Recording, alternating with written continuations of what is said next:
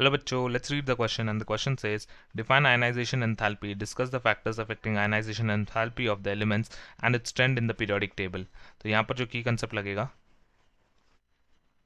वो लग जाएगा आयनाइजेशन एंथैल्पी का आयनाइजेशन एंथैल्पी का तो बेसिकली अगर यहाँ पर हम कंसिडर करेंगे तो होगा क्या कि जब हम आयनाइजेशन एंथैल्पी की बात करते हैं तो it is the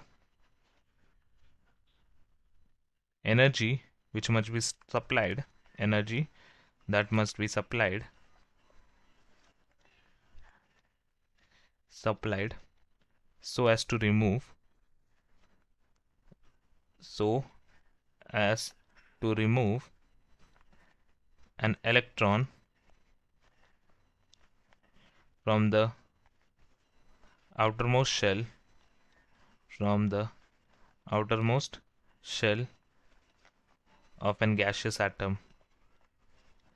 Of an gaseous atom. So the factors affecting the ionization enthalpy are going to be first factor we can take as size of atom.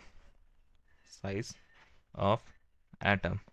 In this case the larger the atomic size smaller is the value of ionization enthalpy because the relationship is size is inversely proportional to ionization energy यानी जितना बड़ा size होगा bigger the size bigger the size the ionization energy which is represented by I E is going to be less and the reason being it is due to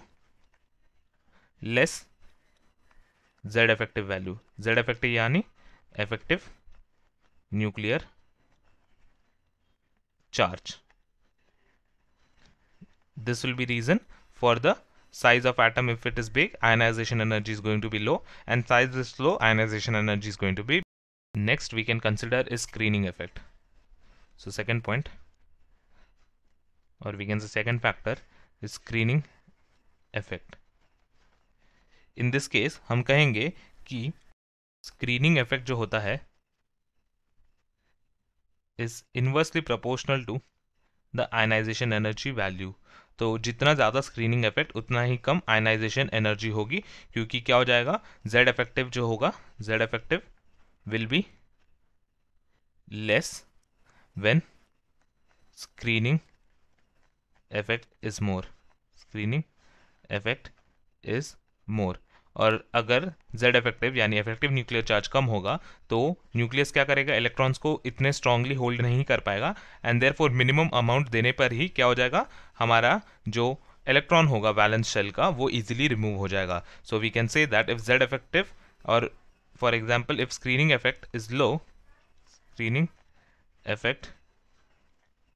is low this will imply that the ionization energy is going to be high and vice versa and we can say vice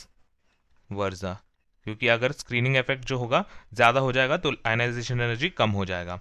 then we can say the third factor which can be responsible for the magnitude of ionization energy is nuclear charge nuclear charge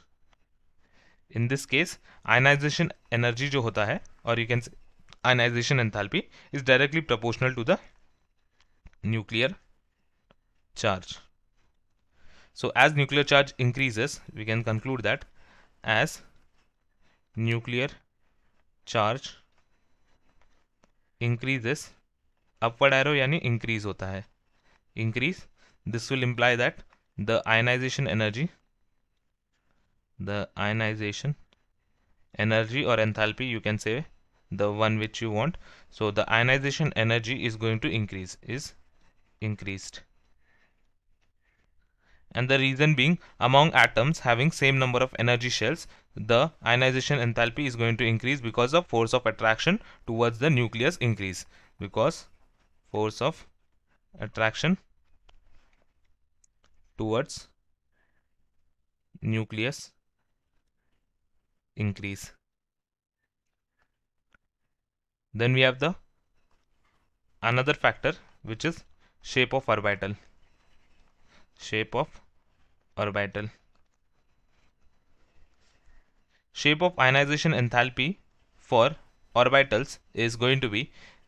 S will have higher ionization enthalpy, P is going to have comparatively lower than S, then D and then F. So this is the order for the ionization enthalpy of the electron present in different orbital अगर electron जो है S में होगा तो higher ionization energy लगेगा P में कम लगेगा डी में उससे कम लगेगा एफ़ में उससे भी कम लगेगा, क्योंकि एस पी डी एफ़ जैसे जैसे हम आगे बढ़ते हैं एस जो होता है वो न्यूक्लियस के पास होता है और पी डी एफ़ जब हम आगे बढ़ेंगे ऑर्बिटल के लेवल में तो वो क्या हो जाएगा न्यूक्लियस से दूर दूर होता जाएगा, यानी effective nuclear charge Z effective will be less when we go from S to variation of ionization energy जो होगा, आयनाइजेशन एनर्जी एक्रॉस और we can say around a periodic table around a periodic table will be पहला from left to right from left to right across a period the ionization enthalpy or ionization energy value increases. And the reason being as atomic number increase as atomic number increase the size is decreasing size is decreasing because of z effective is increasing since the electron is added in the same shell itself that is the reason left to right क्या होता है ionization enthalpy का value जो है increase हो जाए हो जाएगा then हम कहेंगे from top to bottom from top to bottom in a group क्या हो जाता है कि शेल न्यू शेल ऐड हो जाता है उसी ग्रुप में न्यू शेल इज़ एडेड और न्यू शेल ऐड होने पे हम क्या कहेंगे साइज़ इंक्रीजेस साइज़ जो होता है इंक्रीज होता है एटम का। Size increases of atom and that will imply that Z effective